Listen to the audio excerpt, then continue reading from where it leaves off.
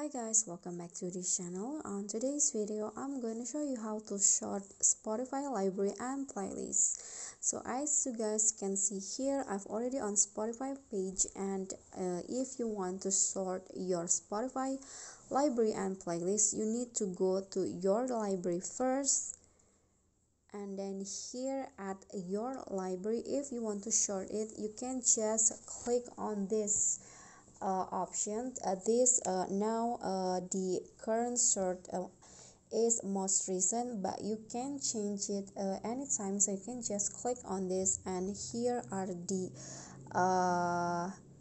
terms of or the sort by option. There are recently played recently added uh, and also alphabetical and creator. So i'm going to just change it into one of these. For example i want to see the my recently played. So this one's right here uh, has been short into my recently play. But if you want to short your playlist you can just uh, for example i want to short my playlist uh, on um, right here. So oops. Okay what is it okay mm, this one's right here for example. Okay so this one you just need to open a d playlist and you'll find a d short option.